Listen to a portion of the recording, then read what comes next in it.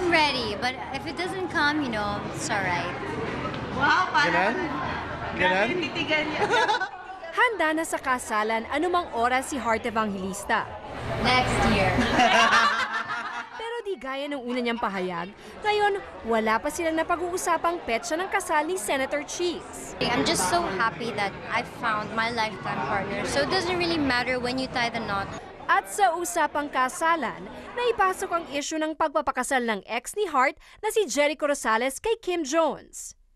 Inintriga kasi ang Instagram post ni Hart ng isang malungkot na painting nung araw mismo ng kasal ni na Echo at Kim. Pero apektado nga ba siya sa pagpapakasal ng ex? Of course not. Kaloka naman. They keep tagging me. Pero okay lang naman. That's life. You know, we all go on. Aminado naman si Hart, ang mapait na relasyon nila ng kanyang mommy ang nagkikayat sa kanyang muling magpinta. Matatanda ang tumutol ang mga magulang ni Hart sa relasyon nila ni Senator Cheese. Sa sold-out na art exhibit, nailabas ni Hart ang kanyang emosyon.